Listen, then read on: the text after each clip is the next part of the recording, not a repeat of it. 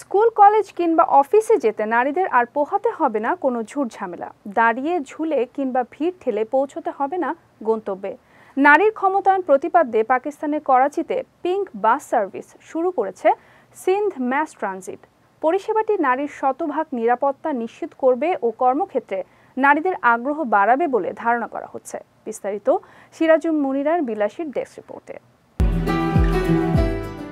পরিষেবাটির আওতায় প্রাথমিকভাবে মাত্র আটটি বাস চালু করা হয়েছে, যেগুলো সকাল সাতটা থেকে রাত দশটা পর্যন্ত পাকিস্তানের মডেল কলোনি থেকে মালিরো টাওয়ার হয়ে সারা ফয়সাল পর্যন্ত একক রুটে চলবে।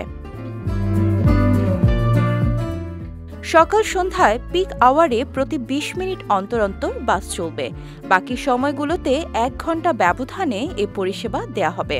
নিরাপত্তার স্বার্থে বাসের ভেতরে বসানো হবে ক্যামেরা, সঙ্গে থাকবে নারী কন্ট্যাক্টারও প্রত্যেকটি বাসে থাকবে পঞ্চাশটি আসন, যার মধ্যে স্পেশালদের জন্য বরাদ্দ থাকবে দুইটি।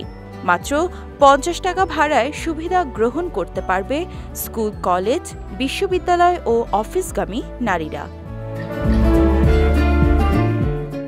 তবে উদ্বোধনের পর থেকে প্রথম সাত দিন যে কোনো নারী চড়তে পারবেন বিনামূল্যে।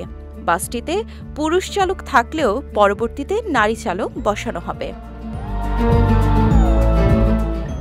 এনআরটিসিকে নারীদের বাস চালানোর প্রশিক্ষণ দিতে নির্দেশনা দেওয়া হয়েছে। এদিকে বাস সার্ভিস চালু করার দিনে নগরীর অন্যান্য নারীদের সঙ্গে ছিলেন বেশ কয়েকজন সেলিব্রিটিও।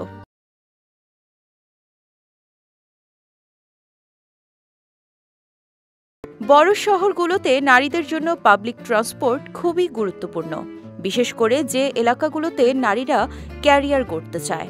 এছাড়া দ্বীপ অঞ্চলগুলোতে যাতায়াতের ক্ষেত্রেও সরকার গোলাপি বোট পরিষেবা চালু করতে পারে।